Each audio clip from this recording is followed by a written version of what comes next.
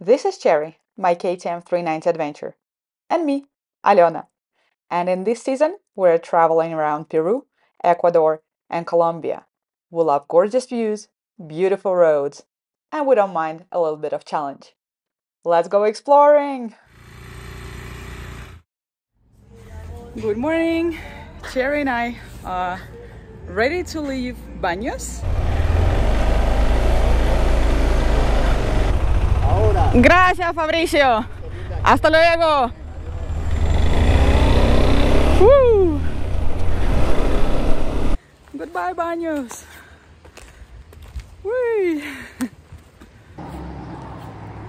One very important thing.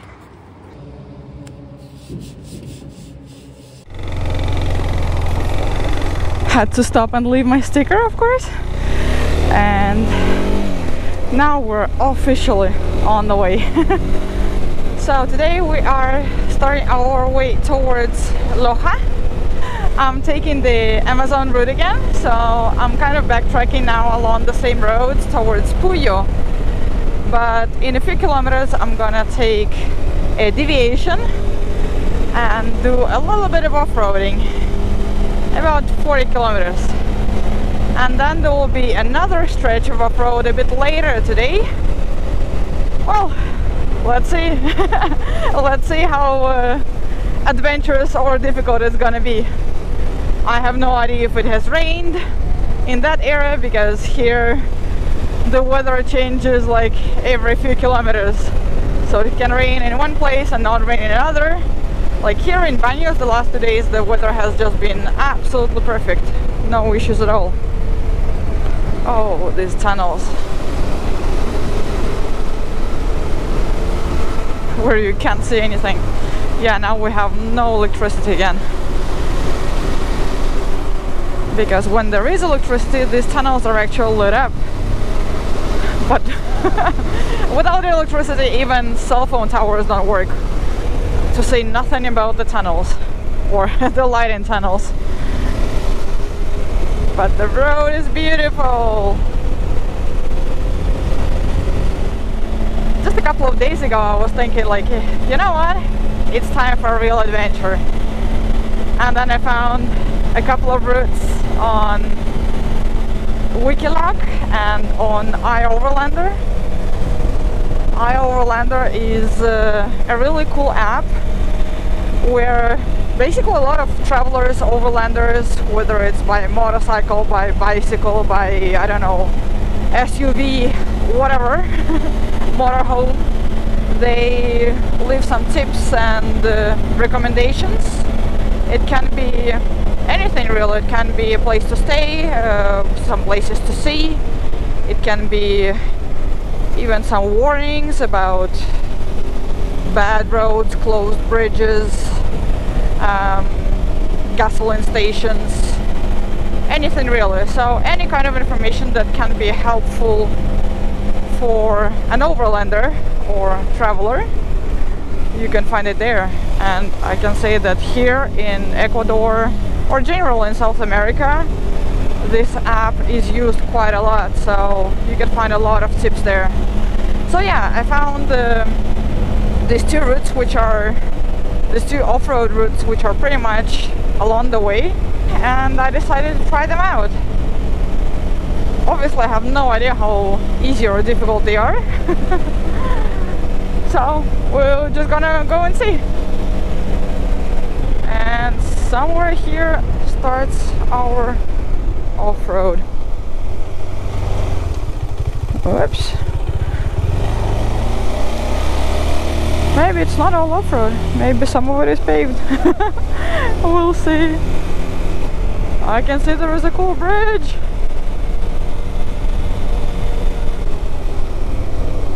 And there is another cool bridge there. Ah. that one looks even cooler. oh my god, this is awesome. Let's stop for a photo. So cool. Look at this beauty.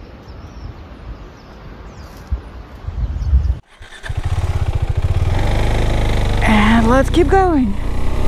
Whee! So So cool. Oh, this, I don't know, itchy, ticklish feeling of the unknown in front of us.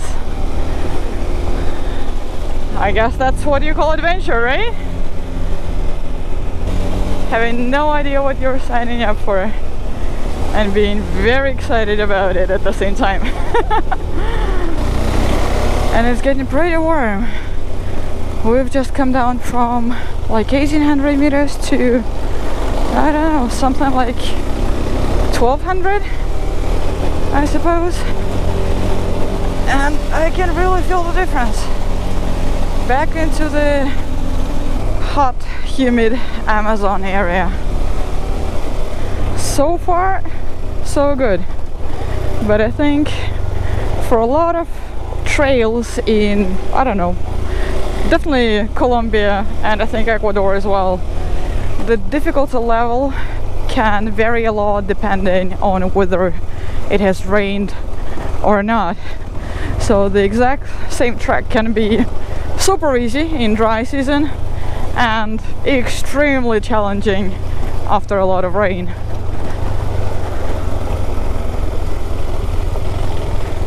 Like imagine if this was all mud, I would be struggling a little bit more than I am now. Not a bad view! and we keep going down. Oh, this is quite steep.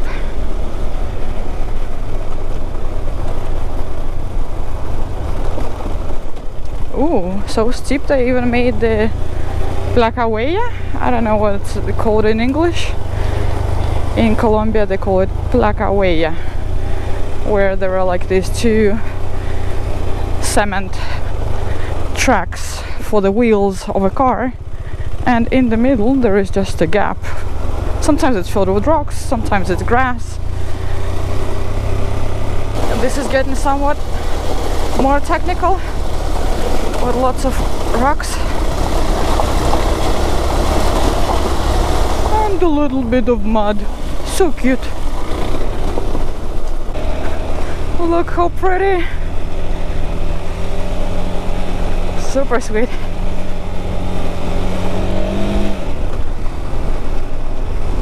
Woohoo! Splash it! so beautiful, I love it. Kind of rocky part. Of course, it's a downhill. okay. Not too bad. if you watched my season 3 in Colombia you know that I'm a big fan of rocky downhills. This was of course a little bit of sarcasm. But look at the view! Whee! A rocky uphill now. Whoa whoa whoa whoa whoa whoa whoa.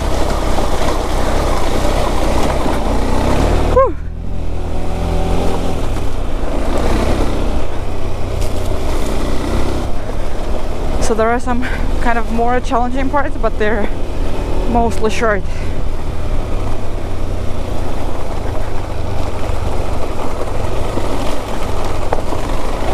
But a super cool ride. Really beautiful. And I can see some oh interesting. Let's go check it out. So there is some kind of bridge or some kind of river crossing.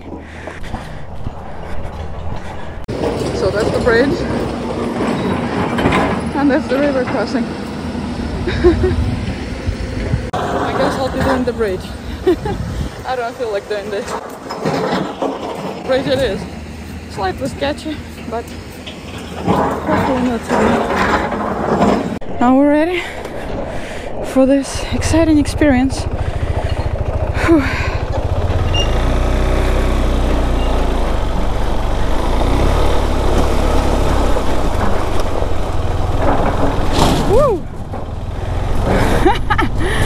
Awesome!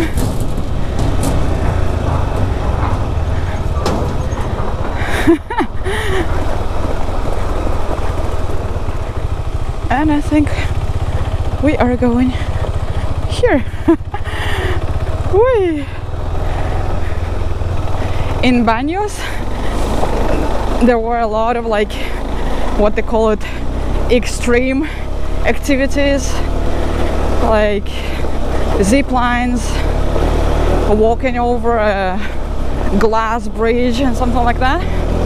Whoa, a little bit of rocky uphill.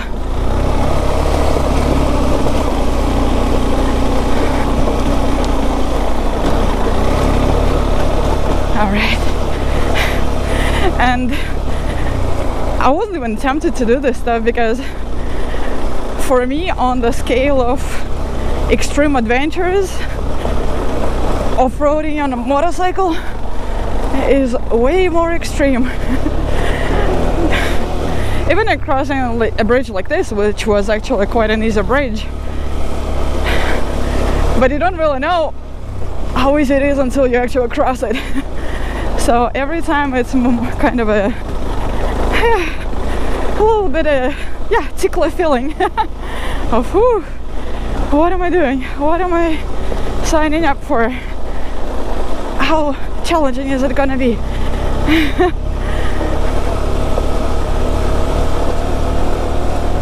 Whee! sweetness.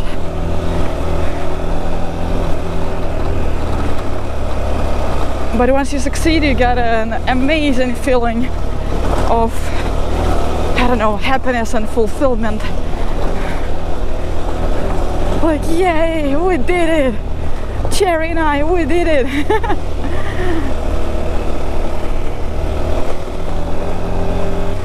rocket downhill well I can definitely say that the second half of the road is more challenging and technical than the first one. The first one I was just cruising with whatever over 50 kilometers an hour and thinking like yeah this life is so easy. Now I'm like hmm this life actually requires a little bit of effort. oh shit! Got out of gear. Oof. And downhill on neutral feels quite extreme.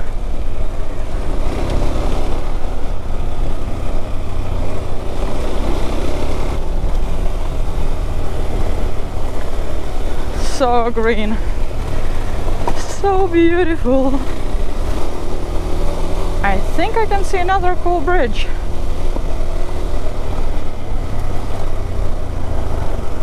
All right, let's go cross this bridge.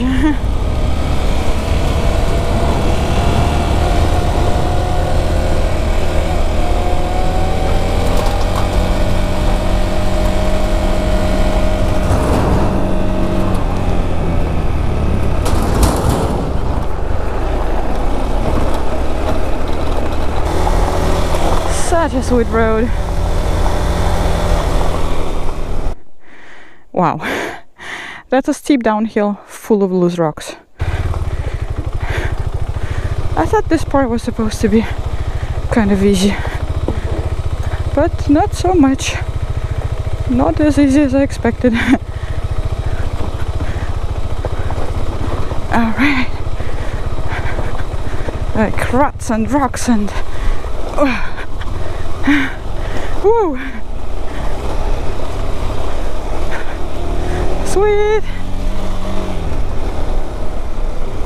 And another bridge over another river. Or maybe it's the same river.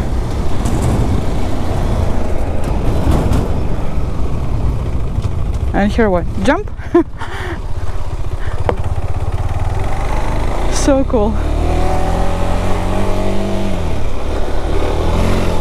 Whoa, I'm drifting. I'm learning to drift. it's 11 a.m. I left at half past eight and I can say I'm getting pretty hungry. So once I get onto the asphalt road and shit, shit, shit, shit, shit, shit, shit, shit, shit, shit, shit, shit, shit. Wonderful. Aleona, please check the map once in a while. oh, I'm glad I was able to stop. well, I started thinking about food already, you know? I got distracted from the road. It seemed so nice and easy that I was like, yay! I'm just dreaming of lunch. Thank you, Cherry, for saving my butt. Cherry's getting all the compliments, by the way. They're like, oh, your motorcycle is so beautiful. I'm like, yeah. Back in the days, people told me I was beautiful. Now, cherries. Oh well, that's life. Cherry, you're beautiful, what can I say? You're stealing all the attention. This looks like a place that might have some food.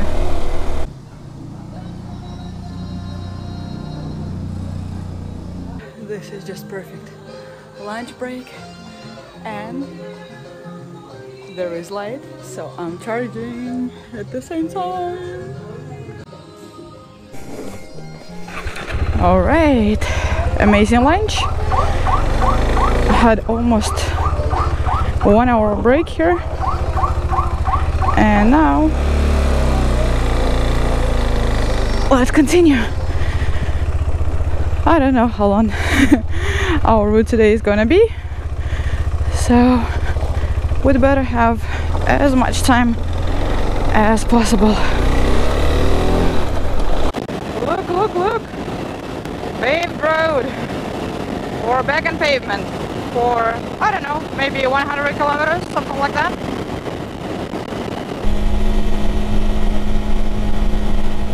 Whee! This is one massive bridge.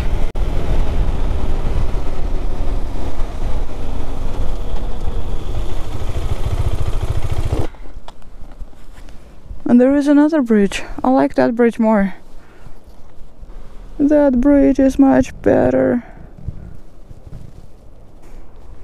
Alright, let's continue. River Pastaza. You are very pretty, but we have to go.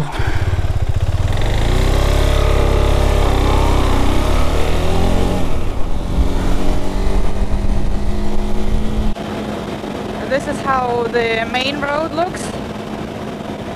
It's not like a highway. It's really more like a back road. and this is the main road, you know. So-called Troncal Amazonica.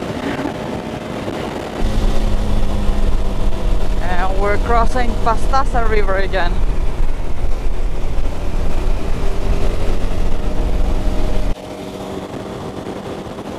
Beautiful and a cool bridge.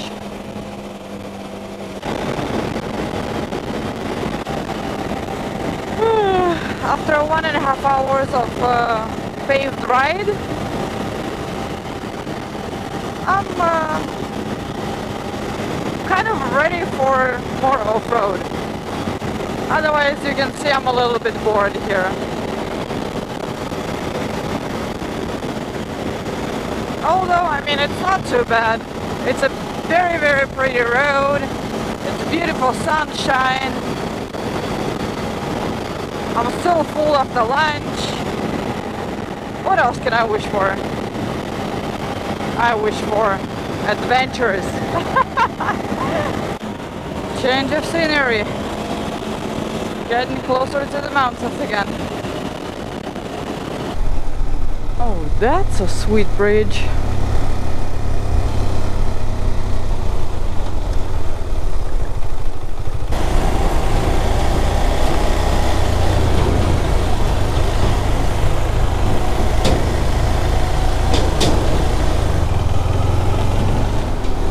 Alright, this is the town of Sucua, so I think I should be getting a coffee and a gasoline refill here before we move on to the off-road part.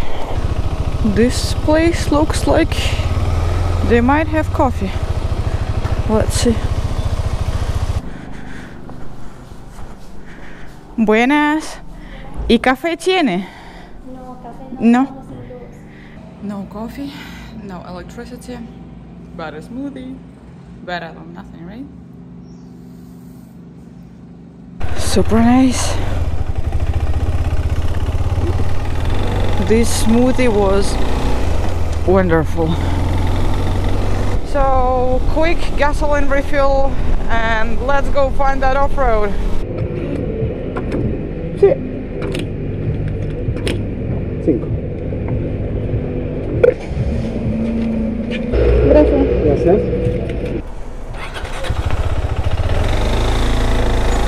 All right. I got my smoothie. Cherry got her gasoline. Let's go get that off-road. Whee! We're ready.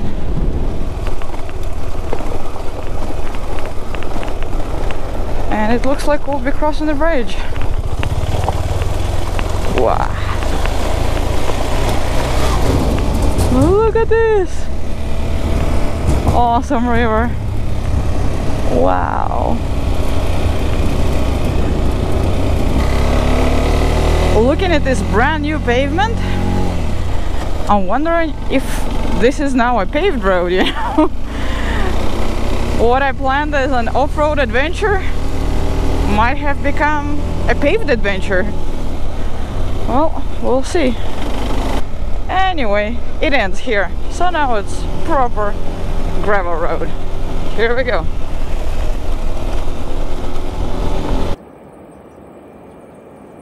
Wow. Well, we'll be following this river, River Upano. During the next whatever 40 kilometers, I guess. Kumbatsa, a tiny village with the most beautiful views ever. Normal life in a small village not too far away from civilization but it feels like a whole different universe right yeah again I'm getting flashbacks to Philippines I was riding there on an island of Busuanga I think I spent a good couple of weeks on that island riding around snorkeling, chilling, and then I went to another island, Siargao, and there I spent I think two months. I was surfing everywhere around the island, so I had a scooter back then, so I was riding all around and just really, really enjoying. I think that's when I really fell in love with motorcycles and riding just exploring and enjoying the beauty of the surroundings. And to get to the best surf spots, you had to ride through a lot of mud, through jungles, with quite a bit of adventure. So maybe that's where my love for off-road comes from as well. oh wow! Quite a lot of loose rocks here.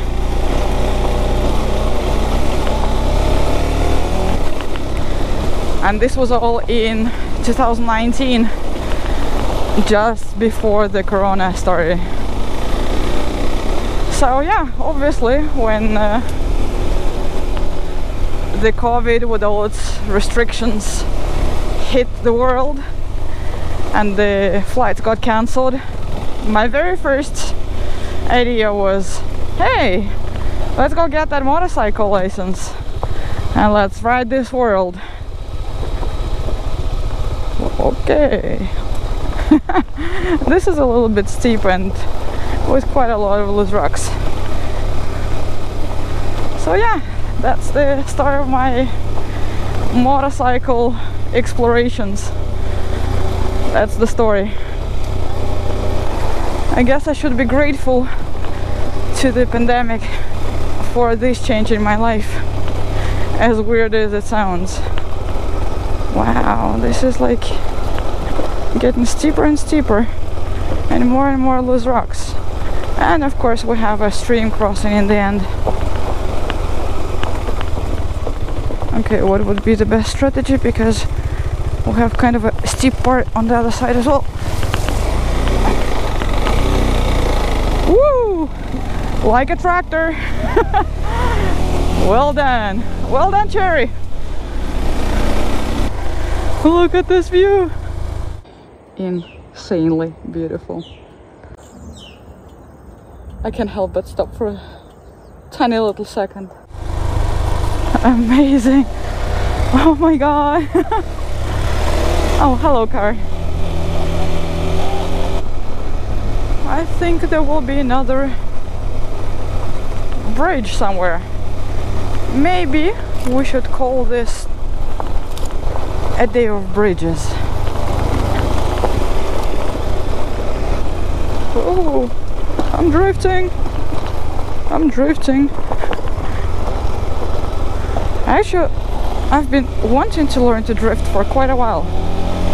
So maybe today is my day. All these loose rocks, downhills, and bridges, of course. Lots of bridges. I'm curious to see what this one is going to be. Yeah, my favorite kind. Woohoo!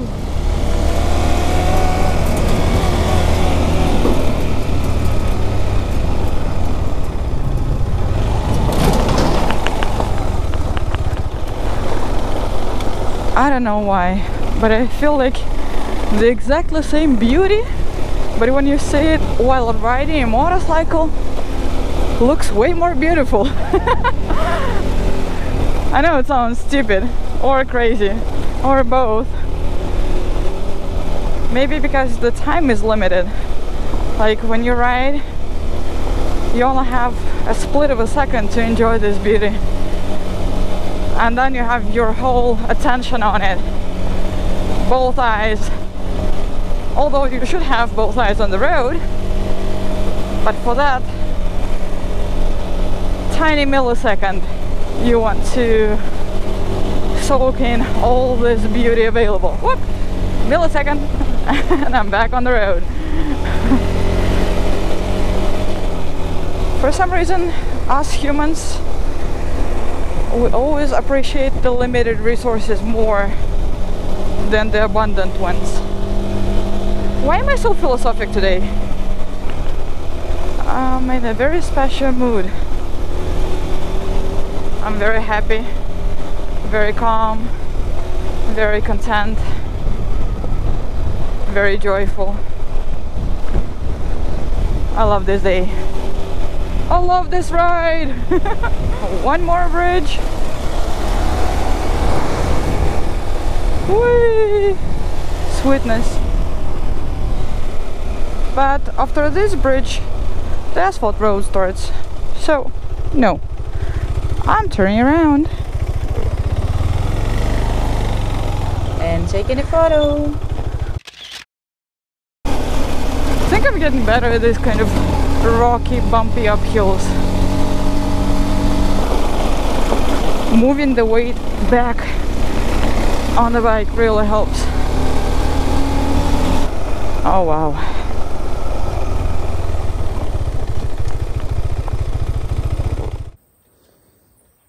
Amazing.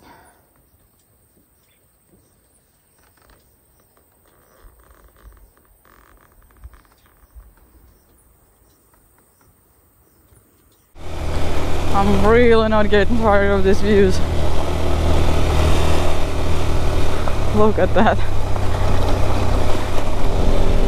I was just uh, passing through one of those small villages here and saw a whole lot of kids playing outside some kind of, I don't know, football. And it kind of made me miss those days when, you know, kids just played outside and not on their cell phones or with gadgets. And it made me also reflect on the current electricity situation in Ecuador. Because uh, yesterday when I was in the hostel camping and uh, the lights went off. So as already said with electricity also the network connection disappears and you know everybody just becomes much more social. Everybody wants to communicate to talk to you know hang out to do something together. And then the electricity goes on again. Look how beautiful. So yeah the electricity goes on again and everybody disappears. Everybody's again with their cell phones you know checking updates and the social atmosphere the whole hangout just you know dies out completely within minutes. And it's such a big contrast you know just because lights on lights off you know whether there is access to the network or not. And it completely changes the people's behavior. Slightly disturbing such a contrast. Look at this. This super bright grass lit up by sunshine and the dark, dark, dramatic clouds in the background. Wow.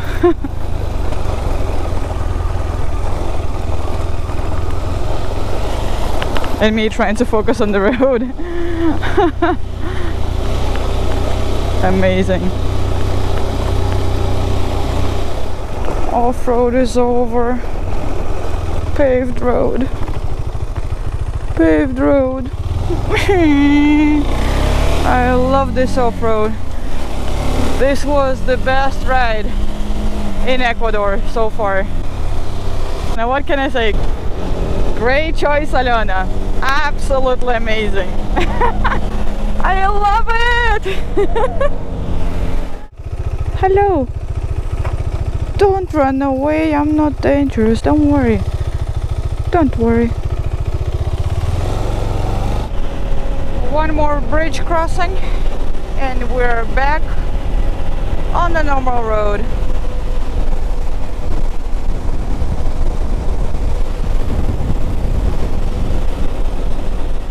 So it's 80 kilometers until our destination and a bit over an hour until sunset. It doesn't take complicated calculations to figure out that we should be going with a speed of 80 kilometers an hour to be able to make it before sunset. Let's ride! Looks like a pretty fun road ahead. I can see many many curves on my GPS.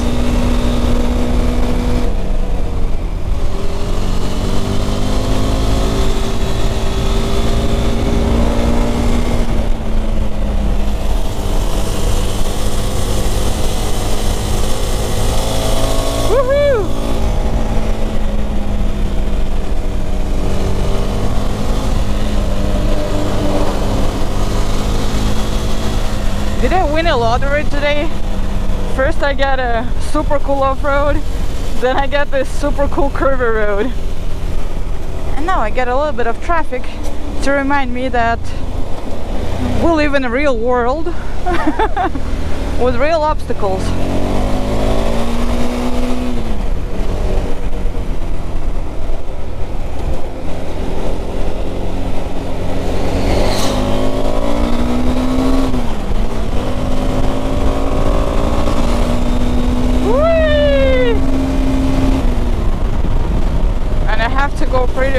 Because I have no idea what's the time schedule for electricity in this region today. Because like every region every municipality has its own uh, schedule for electricity cuts. So if it's dark and there are no lights and I don't really know the road it's not gonna be the best situation out there so yeah, I really don't want to risk riding an unknown road in complete darkness. And I really want to get there before the sunset.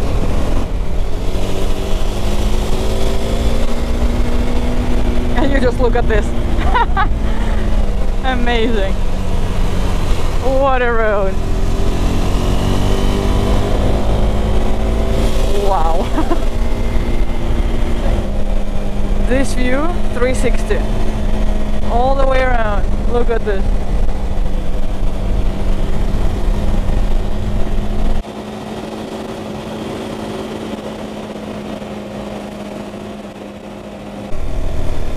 San Juan Bosco. We have arrived